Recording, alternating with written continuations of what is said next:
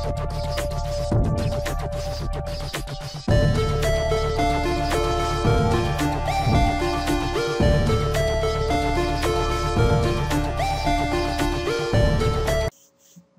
everybody, Retro Gamer here. Well, this is going to be a tutorial video uh, helping a gentleman out here recently that's tried to mod his Xbox, put some emulators on there, and now he's to the point that he wants to upgrade the hard drive in his Xbox. And uh, so I'm going to make a video here for him and for anybody else who wants to use it too. Uh, how to, I guess I'm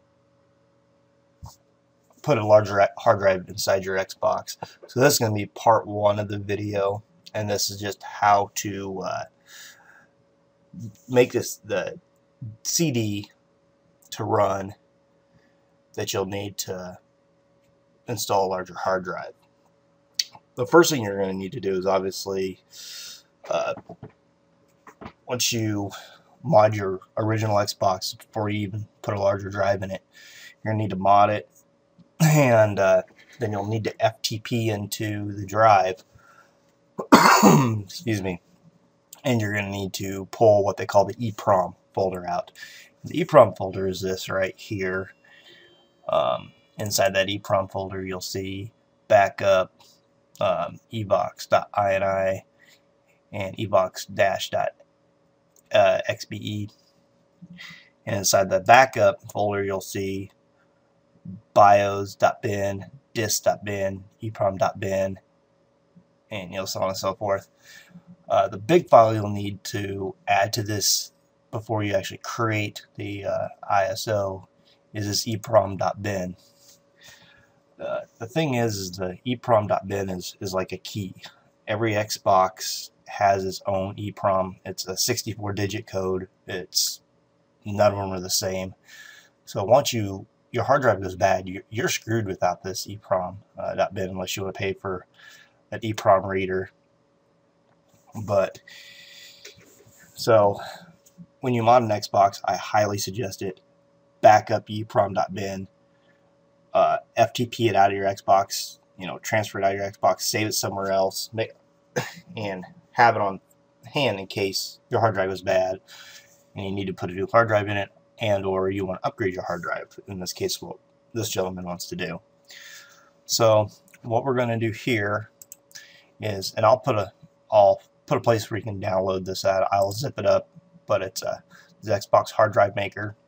It's in here first thing you want to do is you want to go under Linux and EEPROM open that up. Then you want to go over to your EEPROM folder. You want to open that up. You want to click on your backup.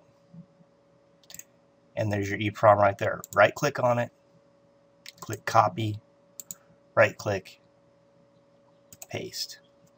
Paste it over to that there.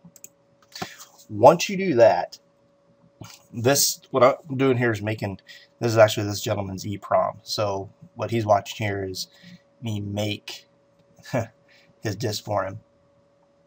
Now the next thing you want to do is back out here, back out here, and then you're going to see make ISO slash win dot bin or dot bat, excuse me. So run this batch file, and when it runs it, it'll create an ISO, and with that ISO, you can make your disk.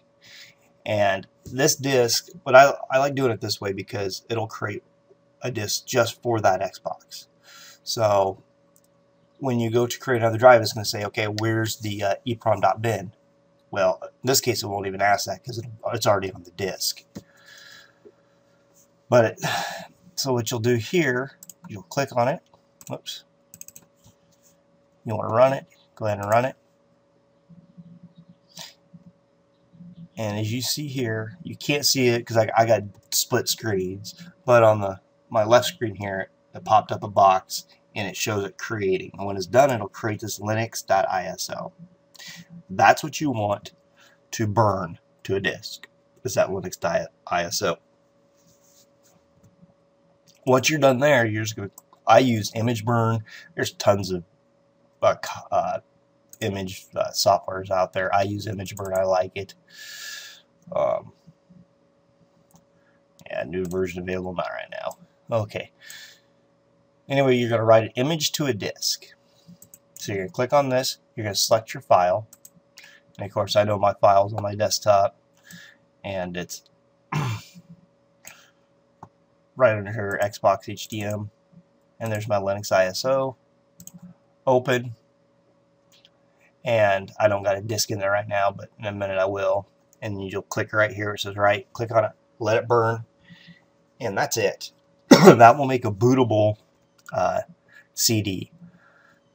Meaning what you will do is you'll put that disk in your uh, computer.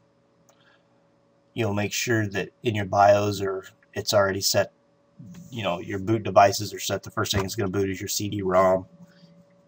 And it'll boot right to that CD. And everything's on there that you'll need. And really, guys, it's, it's that simple to make make this disk.